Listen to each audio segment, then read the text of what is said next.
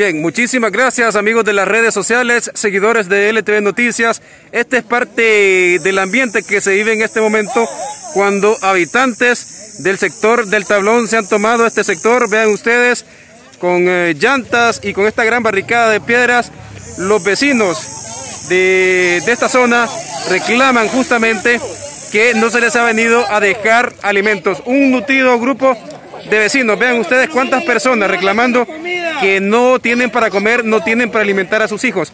Además que los está agobiando seriamente la crisis del agua que llega esta temporada ya con el verano también se sienten muchísimo más afectados. Así que muchos problemas colaterales que se están desprendiendo con esta crisis que ha provocado la llegada del COVID-19 al país. Esto es parte de la información que les podemos ofrecer desde este sector.